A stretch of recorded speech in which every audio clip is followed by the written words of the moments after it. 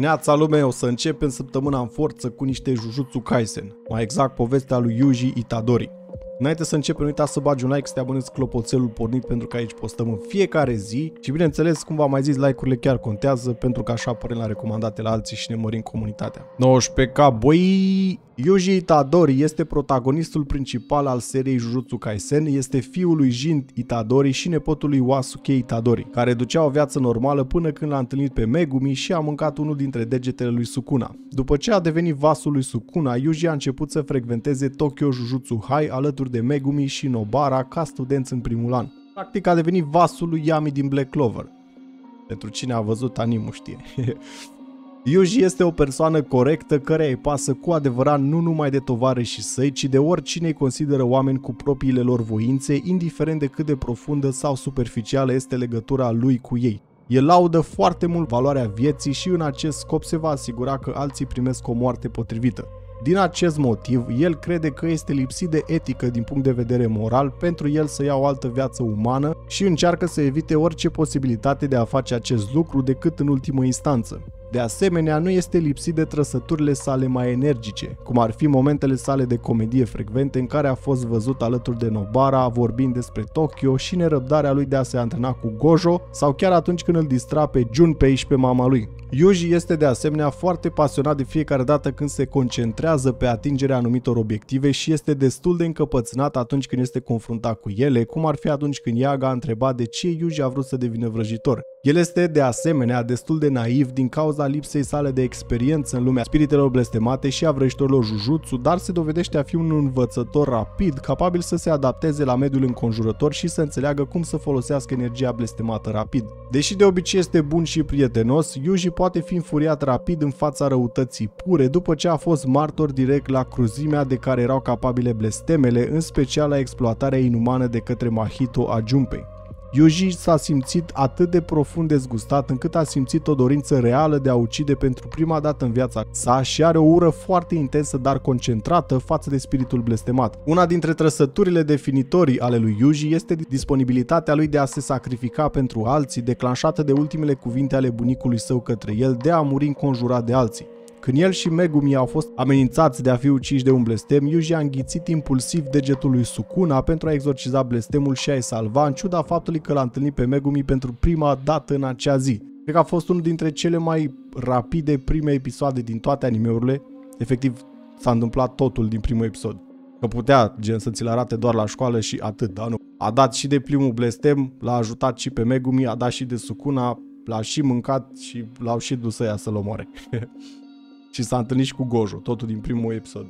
Abilități și puteri, nivelul general de calificare, Yuji este unul dintre cei mai puternici și talentați elevi ai școlii sale, Satoru Gojo plasându-l la același nivel de potențial cu Yuta Okotsu și Kinji Akari, ca unul dintre cei trei elevi despre care crede că îi va depăși în putere. Mamă, îți dai seama, mai tare decât Gojo. Eventual, cine știe. Deși el a zis că s-ar ține și la Sukuna, chiar dacă și-ar lua cele 10 degete înapoi. Deci Yuji să fie mai tare decât Sukuna dă-te încolo. În ciuda faptului că n-a avut nicio legătură cu lumea Jujutsu înainte de câteva luni, înainte de la incidentul Shibuya, Yuji este capabil să se lupte cu și să învingă blesteme de gradul 1 și de grad special. El a fost înzestrat cu abilități fizice supraomenești pe care le combină cu măestrie cu energia sa blestemată. El este de asemenea capabil să-l conțină pe Sukuna fără efecte negative. Trebuie să ne arate ceva backstory, că sigur părinților erau ceva legendare. Ca orice protagonist, nu se începe chiar așa, de la zero. Acest lucru îi permite să-i facă rău lui Mahito, al cărui control asupra formei sufletului său îl face altfel rezistent la rănire. Bă, da, cred că mi se pare că era cea mai bună sau cea mai proastă potrivire ei unul cu celălalt, că ăsta chiar îi dădea damage. Putere supraomenească. Yuji este destul de puternic chiar și fără utilizarea energiei blestemate, deoarece poate distruge pereții cu ușurință aruncând o minge de plumb suficient de tare pentru a îndoi un stâlp de poartă de fotbal și a putut de asemenea să arunce o mașină. Oricât de puternic este el, mai ales când vine vorba de luptă, puterea sa excepțională poate fi adesea mărită la niveluri suplimentare prin folosirea pumnului divergent, și a flashului negru, permițându-i să exorcizeze spiritele blestemate. Puterea sa unică a fost de asemenea comparată cu Kento Nanami, un vrăjitor de gradul 1. El poate face chiar rău lui Hanami și Choso, două blesteme care au o durabilitate și o rezistență remarcabile, primul fiind aproape imposibil de deteriorat. Nanami mi se pare că are vocea faină, a lui Kenji Rotsuda. S-ar putea să mă înșel, sau nu. Viteză și reflexe îmbunătățite. Yuji are o viteză mare și poate termina o pistă de 50 de metri în 3 secunde, ceea ce înseamnă că poate alerga la 60 de km pe oră sau 37,3 mile pe oră.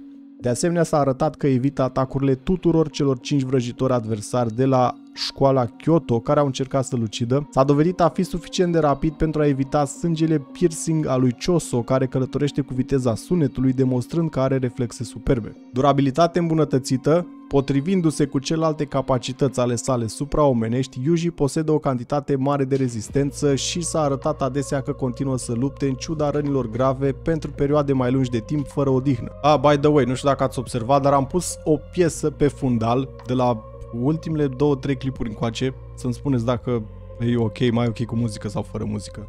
Îmi lăsați în comentarii. Cum ar fi atunci când mâna i-a fost tăiată și degetele i s-au dezintegrat când lupta cu Finger Bearer, permițându-i lui Megumi să scape cu Nobara. Asta cred că e din primele 3 episoade sau 4. A întâmplat destul de repede anime ăsta. De asemenea, a reușit să reziste mai multor răni de înjunghiere otrăvitoare de când a încercat să-l împiedice pe Junpei să rănească pe cineva de la școala lui. Mai ales după aceea când a suferit și daune de la Mahito și a putut să continue atacul. Este un învățător competent. Yuji este o persoană curioasă și un student serios. De asemenea este bun la progres, fiind rapid la trainingul de apreciere al filmului al lui Satoru și realizează rapid sfaturile lui Aoi Todo. Potrivit lui Akutami, el este cel mai bun la gătit dintre trioul din primii ani. El a reușit să stăpânească utilizarea artelor marțiale alături de energia blestemată și a perfecționat-o la un nivel cu care să poată accepta blesteme de grad special. El a putut chiar să folosească Black Flash de 4 ori la rând, la scurt timp după ce aflase că există. Șmecher. Și maestru corp la corp, că băiatul numai asta știe, este unul dintre cei mai mari, dacă nu chiar cel mai mare practicant de arte marțiale din serie. Cu priceperea lui în luptă, merge cod la cod cu Aoi Todo, un alt artist marțial extrem de priceput și poate să învingă fără efort un spirit blestemat de semi-grad 1 și poate provoca blesteme de grad special folosind pur și simplu arte marțiale și infuzând stilul său cu energie blestemată. Yuji posedă de asemenea un control impresionant asupra atacurilor sale, fiind capabil să-și întrerupă lovitura cu un moment înainte de impact și să-și ajusteze puterea în mai multe contralovituri. Stilul de luptă al lui Yuji este de obicei descris ca fiind foarte acrobatic cu mișcările sale, permițându-i să-și lovească adversarul în mai multe unghiuri diferite, ceea ce îi permite de asemenea să evite mai multe atacuri care se apropie. În esență, oferindu-i capacități ofensive și defensive grozave, mai ales dacă lovitura inițială la care merge a fost blocată, el este capabil să folosească lovituri de zbor înalte, neortodoxe și chiar lovitură cu genunchi pentru a riposta. Este de asemenea priceput într-un stil de arte marțiale cunoscut sub numele de Taido, ceea ce îi conferă capacitatea de a efectua eliberare de genunchi. Să eliberezi un genunchi în gât care este o tehnică străveche de arte marțiale și elimină mișcările de pornire și permite lui Yuji să-și elibereze genunchii, șoldurile și umerii pentru a-l ghida către picioarele adversarului în loc să cadă. Combinând tehnica menționată mai sus cu artele marțiale Taido, Yuji poate executa un Manji Kick în care folosește impulsul pentru a-și arunca piciorul drept în sus și a lovi cu piciorul în capul adversarului său. Adăugând energie blestemată la acest atac, poate dăuna spiritelor blestemate. Mai are și rezistență la o travă pentru că este gazda lui Sukuna, el are o rezistență la toate tipurile de otravă. Yuji va simți durerea la o travă, dar el este în mare parte neafectat. Această abilitate a fost demonstrată pentru prima dată în timpul luptei cu Junpei când a putut rezista o trăvii lui Moon Dregs. N-a fost instruit în utilizarea armelor, cu toate acestea, datorită puterii sale fizice și talentul, ar putea deveni un competent rapid dacă îi se va arăta. E și acum să trecem la Jujutsu. Manipularea energiei blestemate. Are o mare energie blestemată. Energia blestemată al lui Yuji provine din părțile blestemului de grad special Ryomen Sukuna. El nu pare să aibă o tehnică născută, dar a demonstrat o mare competență în a învăța cum să controleze energia blestemată. În prezent, Yuji folosește în principal energia blestemată combinată cu abilitățile sale de arte marțiale și forța supraomenească pentru a-și consolida loviturile, crescând impactul acestora și permițându-i să rănească blestemele. Datorită diferitelor regimuri de antrenament pe care le-a avut, Yuji a înțeles mai bine natura energiei blestemate decât majoritatea colegilor săi. Până când a avut revanșa cu Mahito în timpul incidentului Shibuya, Yuji a reușit să învețe cum să folosească Black Flash practic după bunul plac. Pumnul divergent După ce Yuji lovește o țintă, energia lui blestemată curge și face un al doilea impact mai puternic. Pumnul divergent a fost adesea folosit inițial, dar după lupta lui Yuji cu Aoi Todo la evenimentul de bunăvoință al școlii surori de la Kyoto și critica din anul 3 de la Kyoto asupra acestui atac, practic a încetat să-l mai folosească. În prezent, Yuji poate efectua de bunăvoie acest atac, așa că este un expert în utilizarea acestei puteri a lui. Parcă și Nana mi-a zis că, bă, mișcarea asta e jmecher. Black Flash, o tehnică care creează distorsiuni spațiale atunci când utilizator se conectează cu un impact de energie blestemată în 0,000001 secunde de la o lovitură fizică. Țineți minte, deci un 0,1, 2, 3, 4, 5 zerouri și 1.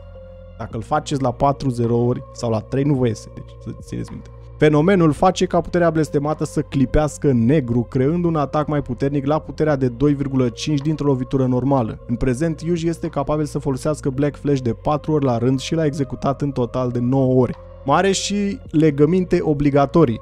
Yuji are un jurământ obligatoriu fără nume cu Sukuna, Regele blestemelor a fost de acord să-l reînvie după moartea sa aparentă în arcul ulterior blestemat în două condiții.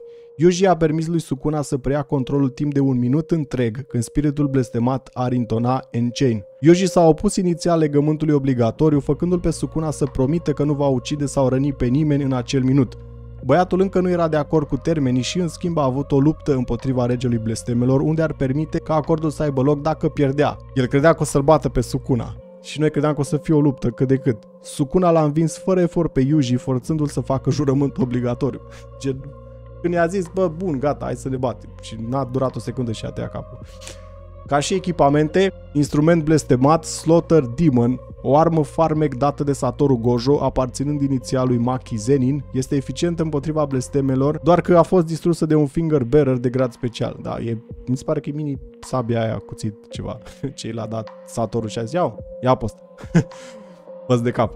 Aș vrea să-l fac și pe Megumi și pe Nobara, dar uh, dacă tot apare filmul pe 20, cred că o să-i facem pe ăștia pe 20 și de pe 20 încolo după ce apare filmul. Acum în mai, cu Jujutsu Kaisen. O să fie hype la blanau.